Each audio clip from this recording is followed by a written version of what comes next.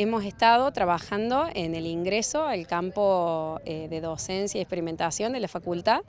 Eh, lo que se ha hecho es una plantación con objetivos de jerarquizar el ingreso, por un lado, y también eh, ofrecer un corredor biológico. Esto está dentro del marco del proyecto de forestación del Camp Dosex, donde se va a forestar todo el perímetro del campo.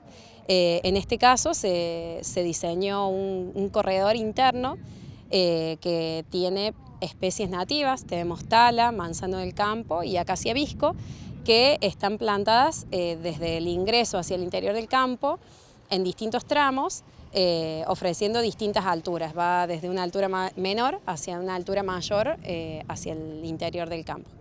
¿Esta plantación continúa? ¿Tiene distintas etapas? Estamos haciendo plantaciones en otoño y en primavera.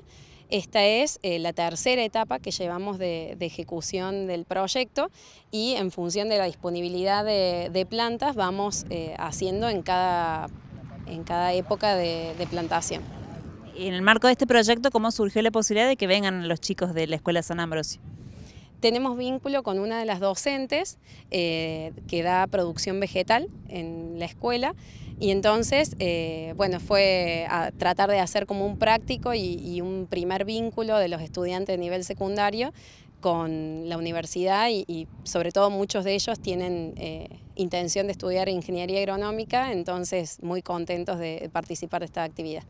Por último, profesora, ¿cuál es el balance que hacen de este encuentro, de esta jornada de trabajo? Y nos parece muy positivo, eh, como te decía recién, destacar el vínculo y la participación eh, de que estas plantaciones se hagan con la, con la participación de la comunidad.